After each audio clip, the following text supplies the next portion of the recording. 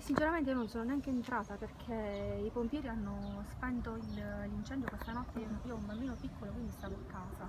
Stamattina sono venuta, adesso mio marito a fare la denuncia e, e non lo so sinceramente.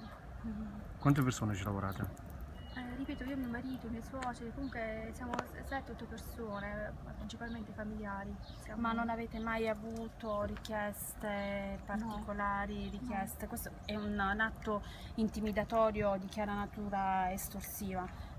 Voi come vi ponete di fronte a questa eventualità? Che cosa le devo dire? Io mm, scendo dalle nuvole, cioè io non...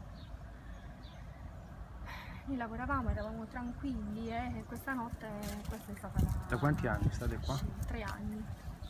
Da tre, in tre anni non sospetti di niente, No, nessuna niente. gelosia, de- concorrenza, niente. Quindi, No, no, no, perché dovrei dire... no.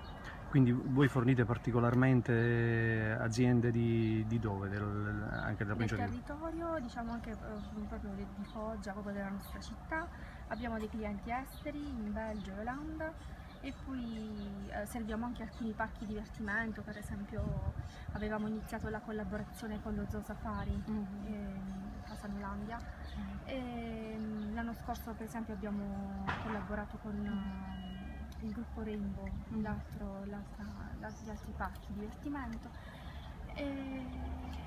Senta, eh, la polizia e i carabinieri dicono che due giorni fa qualcuno... Hanno detto anche a me la stessa cosa questa mattina che qui avevano trovato delle, non so, del- della benzina. Cosa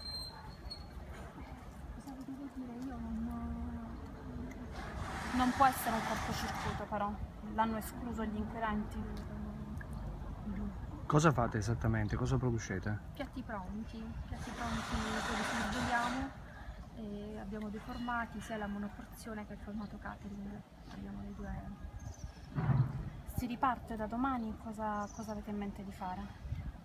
Io spero di, al più presto di dare una sistemazione generale, il cui tempo non lo so perché hanno detto che il suo spazio è inagibile, quindi Mm. comunque ci vorranno dei tempi tecnici proprio per poter ripristinare l'attività lavorativa.